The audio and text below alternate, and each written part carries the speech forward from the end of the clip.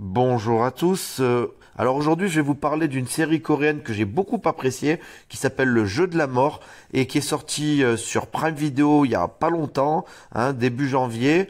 Euh, donc c'est sorti en deux morceaux. Il y avait un morceau fin décembre, un morceau fin janvier. Là maintenant, on a huit épisodes et la série est est, est complète. Hein. C'est en une saison, alors avec possibilité d'une deuxième, on verra.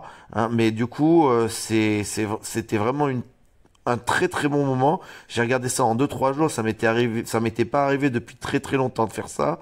Euh, donc j'en ai entendu parler euh, sur plusieurs sites euh, qui l'a conseillé et euh, bon en ce moment c'est très très à la mode. J'en ai, essayé plusieurs hein. bargain là sur sur le trafic d'organes. Bon j'ai regardé trois quatre épisodes j'ai pas continué. Aux côtés du mal sur les infiltrés dans la police là non plus j'ai pas continué au bout de deux épisodes. Et puis j'avais essayé Mass Girl.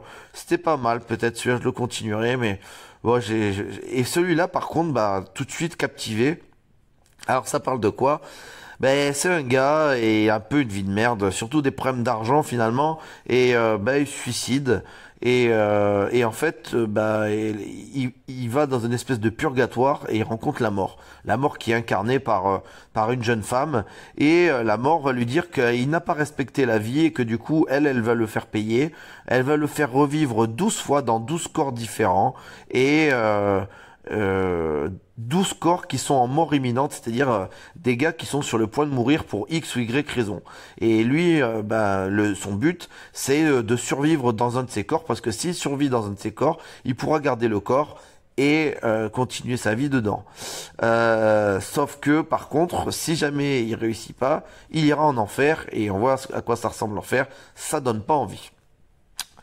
Bon, alors, qu'est-ce qui est, qui est génial? Bon, déjà visuellement, c'est magnifique. Euh, on a une espèce de mélange des genres. C'est des épisodes, ce sont des épisodes sur sur donc ce sont des drames. Après il y a des épisodes où c'est vraiment orienté action, orienté romance. C'est hyper divers. Donc il y a une espèce de mélange des genres. C'est ultra bien fait. Les scènes d'action, on a des on a des poursuites en moto, on a des scènes de baston, on a des gunfights. Oh, c'est franchement ça a rien à rien à envier à certaines productions euh, même euh, des films. Euh, il y a des il y a des en plus il y a des il y a des mouvements de caméra et tout c'est ultra bien filmé. Vraiment hyper inventif. Ensuite donc quand il se quand il se réincarne dans un corps à chaque fois on découvre un nouveau héros, enfin on a un nouveau personnage qu'on a. Et franchement, les histoires de chaque personnage sont intéressantes.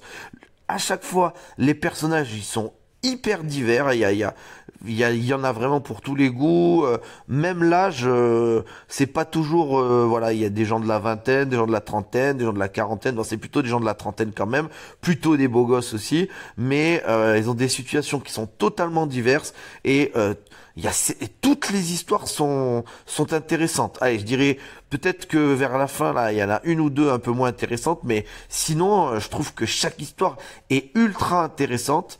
Euh, pareil, euh, lorsque euh, le personnage meurt, c'est quand même souvent inattendu.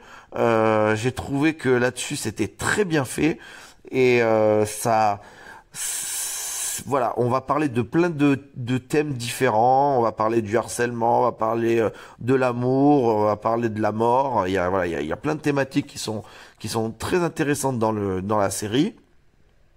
Alors, euh, au niveau de la prestation des acteurs, moi je trouve que euh, ça joue plutôt bien.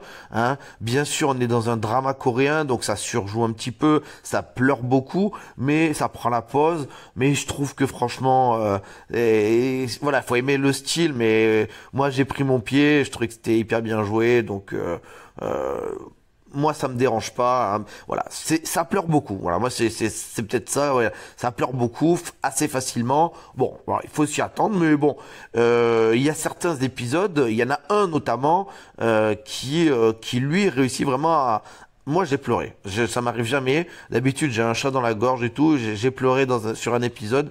Voilà il y a il y a il y a une histoire qui est vraiment qui met les larmes aux yeux. Et euh, et voilà j'ai j'ai trouvé que c'était vraiment, vraiment émouvant.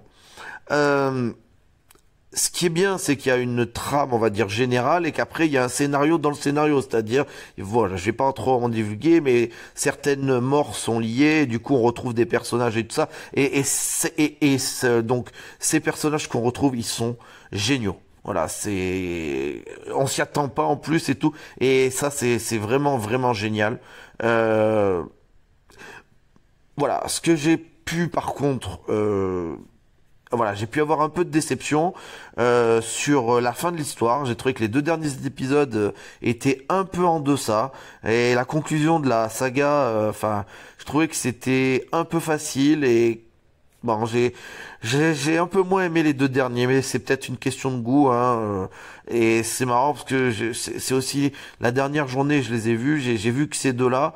Donc peut-être, je sais pas, j'étais peut-être un peu plus fatigué ou quoi. Peut-être ça vous fera pas ça.